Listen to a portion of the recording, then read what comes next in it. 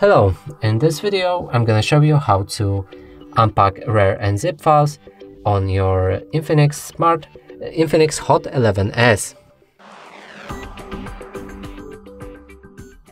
So in order to do this, you'll need to get the RAR app. We've shown you how to download it in our other video.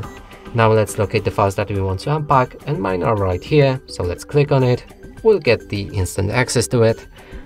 Then select this arrow pointing up, click on browse to change the designations where the files will be unpacked. For me it's gonna be movies.